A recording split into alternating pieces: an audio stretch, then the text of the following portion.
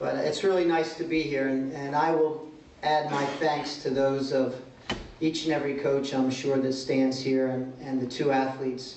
I think when you listen to Monica and to Lee, you understand what we really are all about, and that's producing the best students, athletes, and people of any school in the country. Um, the opportunity that you provide for us to bring outstanding young men and women to this university is, uh, without a doubt, one of your greatest gifts to humanity. And, and there's no other way for me to say other than thank you. Uh, I've been fortunate to be at Virginia for a while. Um, it's my alma mater. So for any coach to have the opportunity to spend as much time at, at their school as I have um, is unique. It, it's very special. And to, to be here this evening with so many other great coaches and, and share some time with you, I appreciate it. Uh, Lee and I were driving down from Charlottesville and he said, have you had time to really think about the season that we had? And I told Lee, honestly, I haven't spent 10 minutes thinking about what happened. I've been on the road recruiting um, quite a bit since we finished our season, uh, both for the spring period coming up, uh, or that we're currently in, and for next year. And it really hasn't dawned on me to look back. Um, I'm driven by the fear of losing.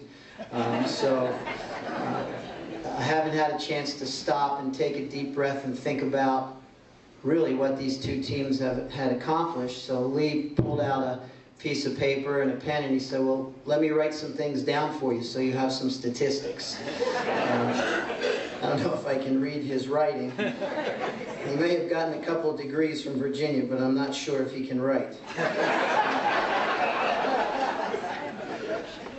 His mother can, though. Uh, for our men's team, this was the our 10th ACC championship in the last 11 years.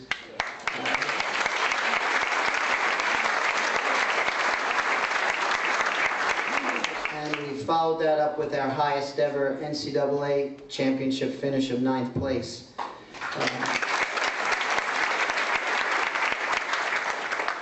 Four of our athletes were selected to first team as first team All-Americans, and seven of our men were honorable mention All-Americans. Um, we had 11 male athletes who were all ACC performers. We broke four of the five all-time ACC relay records. Um, we broke an additional 10 ACC records in of the 18 swimming events this year, and we currently hold 12 um, of the 18 possible records. Um, the ladies um, won their fourth ACC championship in the last seven years. Um, they finished 12th at the NCAA championship. Um, they too had four first-team All-Americans, uh, six honorable mention All-Americans, 12 All-ACC performers. Uh, to which Lee said, I guess the men's team's got to find spot for one more next year. Um, we won all five relays at the ACC championships, broke all five ACC relay records. Um, their women currently hold 11 all-time ACC records. And this year they broke 14 team records out of a possible 18 events. So it's the first time I've really had a chance to think about the kind of season we had. And as Lee was writing and I, I was driving and, and he was saying, did you know this? Did you realize, did you think about that? And I said, no, no, Lee, I haven't had a chance to really condense it and, and think about what a great season you athletes had. And it's, it's not anything special that the coaches do. What is special is, and I think Monica alluded to it first when she said, the chemistry, the bond, and the family. And I think that's what our athletic department does, and that's what Craig teaches us from the top. Where we take care of one another, um, we worry about our teams, our team is our family, and we do everything we can to ensure as much success department-wide as we possibly can.